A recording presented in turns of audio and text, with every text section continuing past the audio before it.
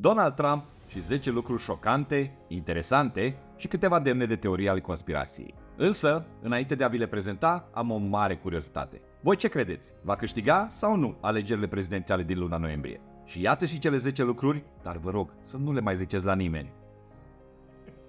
Știați că Donald Trump a fost acuzat în peste 3500 de procese de-a lungul carierei sale, inclusiv pentru fraude imobiliare și nerespectarea contractelor, conform datelor publicate de USA Today. Știați că în 1990 Donald Trump a recunoscut public că se prefăcea a fi propriul său purtător de cuvânt, folosind numele John Barron pentru a răspândi zvonuri favorabile despre el însuși în presă. Știați că Donald Trump a fost inclus pe lista neagră a cazinourilor din Las Vegas pentru o perioadă de timp, după ce a fost surprins de mai multe ori trișând la jocurile de noroc.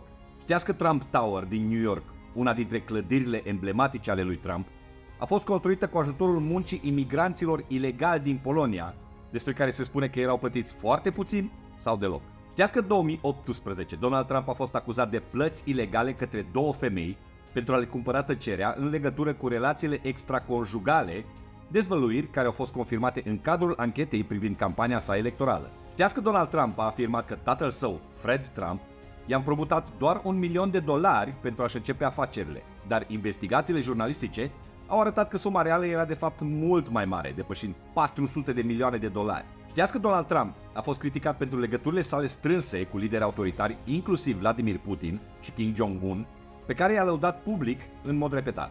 Știați că Donald Trump a refuzat să-și dezvăluie declarațiile fiscale publice, un gest fără precedent pentru un președinte american, stârnind speculații privind posibile conflicte de interese și evaziune fiscală. Știați că Donald Trump a promovat teoria conspirației că Barack Obama nu s-a născut în Statele Unite, o afirmație care s-a dovedit falsă și a fost considerată de mulți drept o încercare de delegitimizare a președintelui Obama. Știați că în timpul mandatului său, Donald Trump a fost acuzat de multiple acte de obstrucționare a justiției în cadrul investigației conduse de Robert Mueller privind amestecul Rusiei în alegerile prezidențiale din 2016.